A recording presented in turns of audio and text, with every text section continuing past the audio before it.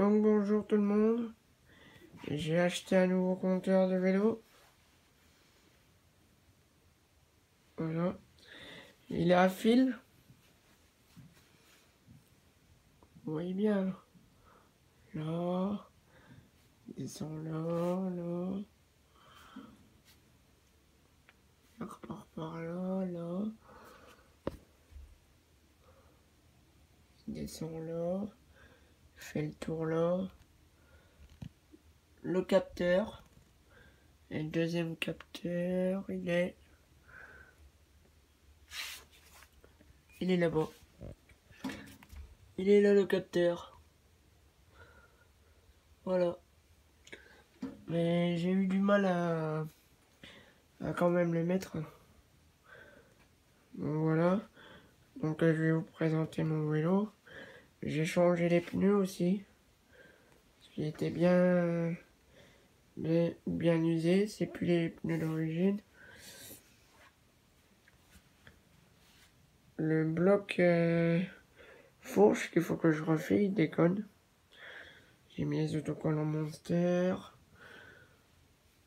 le compteur, la lumière, la petite sonnette, autocollant.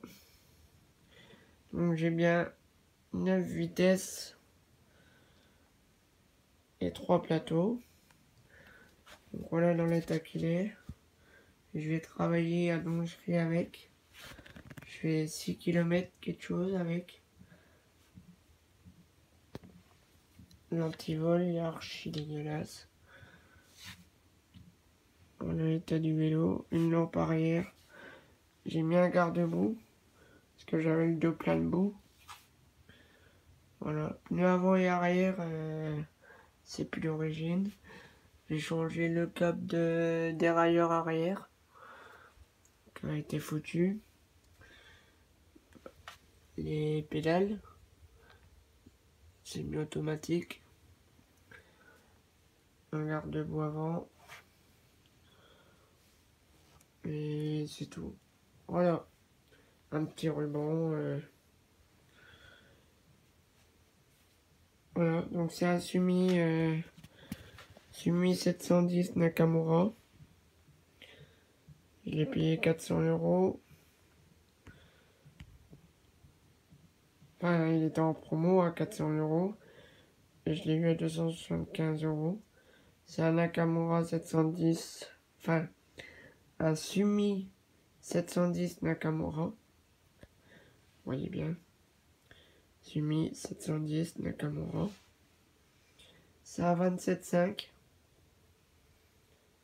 Voilà. Il est trop beau.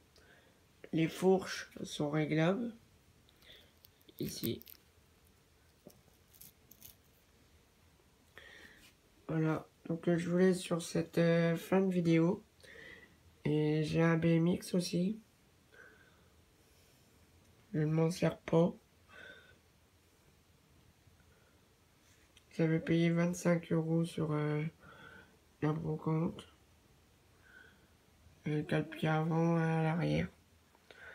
Voilà, je vous laisse sur cette fin de vidéo. Et bonne vidéo à tous. Salut